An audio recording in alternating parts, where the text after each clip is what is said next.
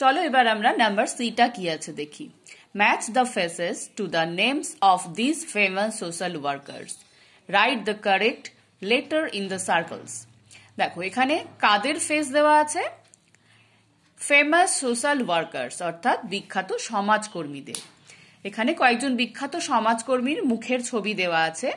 এবং এখানে তাদের নাম লেখা আছে এই নামের আগে যে এবিসিডি করে মার্ক করা আছে এই লেটারগুলো তোমাদের এই ব্ল্যাঙ্ক সার্কেলগুলোর ভেতরে লিখতে হবে নাম আর ছবি ম্যাচ করে চলো আমরা দেখি কাদের নাম দেওয়া আছে মাদার টেরেজা হনুয়াপ্পা সুদর্শন কৈলাস সত্যার্থী अन्ना হাজারে মেধা পটকর লক্ষ্মী আগরওয়াল দেখো, প্রথমেই যার ছবি দেওয়া আছে তিনি হচ্ছেন লক্ষ্মী আগরওয়াল। তাহলে আমরা এই এফটা এই সার্কেলে লিখব। লক্ষ্মী আগরওয়ালকে, ইনি একজন সোশ্যাল ওয়ার্কার অবশ্যই, তোমরা প্রথমেই দেখেছ যে এখানে প্রত্যেকেই সোশ্যাল ওয়ার্কার লক্ষ্মী আগরওয়ালকে দু হাজার পাঁচ সালে অ্যাসিড ছুঁড়ে তাকে আক্রমণ করা হয়েছিল। তিনি একজন অ্যাসিড আক্রান্ত। তার মুখটা বিভৎসভাবে পুড়ে গিয়েছিল।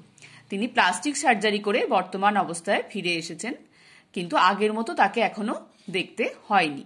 মুখটা তার এখনও অনেকটাই পরিবর্তিত হয়ে আছে। কিন্তু এত বড় ঘটনাতেও তিনি তার মনের জোর হারাননি। তিনি এইরকম অ্যাসিড আক্রান্তদের জন্য কাজ করে চলেছেন।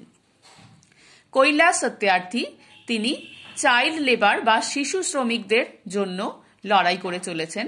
তার কাজের স্বীকৃতি হিসেবে তিনি শান্তিতে নোবেল পুরস্কারও পেয়েছেন। আন্না হাজারে, যার আসল নাম বাবুরাও আন্না হাজারে, তিনি একজন শ্রমিক নেতা এবং দেশে যে করাপশন বা দুর্নীতি আছে বিভিন্ন রকমের, তার বিরুদ্ধে তিনি লড়াই করেছেন। মাদার টেরেজা এনাকে তোমরা প্রত্যেকেই চেনো।